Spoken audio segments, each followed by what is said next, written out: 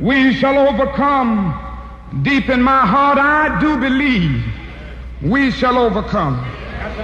Though I join hands so often with students and others behind jail bars singing it, we shall overcome.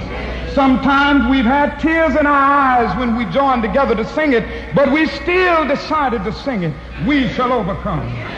No, before this victory is won, some will have to get thrown in jail some more, but we shall overcome. Don't worry about us. Before the victory is won, some of us will lose jobs, but we shall overcome. Before the victory is won, even some will have to face physical death. But if physical death is the price that some must pay to free their children from a permanent psychological death, then nothing shall be more redemptive. We shall overcome. Before the victory is won, some will be misunderstood and called bad names and dismissed as rabble rousers and agitators, but we shall overcome. And I tell you why. We shall overcome because the arc of the moral universe is long, but it bends toward justice. We shall overcome because Carlyle is right. No lie can live forever. We shall overcome because William Cullen Bryant is right.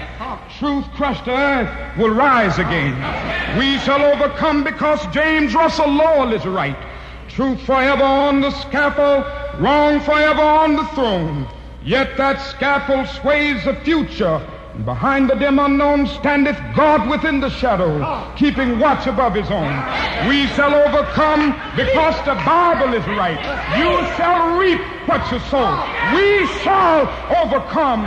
Deep in my heart, I do believe we shall overcome. And with this faith, we will go out and adjourn the councils of despair and bring new light into the dark chambers of pessimism.